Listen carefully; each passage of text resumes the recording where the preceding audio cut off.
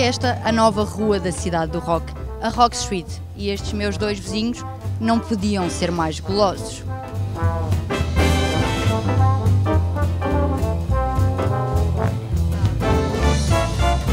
Eu já sabia que era baixinha, mas não sabia que era a mais baixinha da minha nova rua.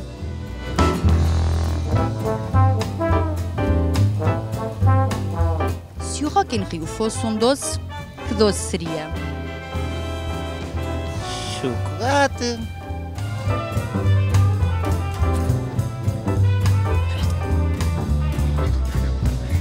Isso aqui nem parece Rock in Rio, né? Isso parece um pouco New Orleans. Eu tive uma vez em New Orleans e o clima é contagiante, é fantástico, gente dançando, mágico e tal. E isso é um tempo atrás. Falei, um dia eu vou mexer com isso. E quando eu fui o, o último Rock in Rio do Brasil, eu queria trazer o jazz. Então, pô, jazz, street jazz, pensei nessa história aqui, foi um sucesso. Eu acho que aqui também vai ser. Eu sou fã disso aqui, sou suspeito que eu criei, mas sou fã disso aqui em especial. Então, isso aqui é um mundo à parte que eu acho que os portugueses vão amar. É uma inovação, está muito giro, tem música engraçada, vamos ver umas pessoas a dançar. Parece que isto ao longo do dia vai ser engraçado.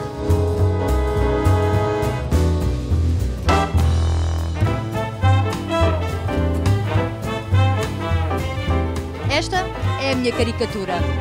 E esta é a caricatura Rock Street, a arte na rua.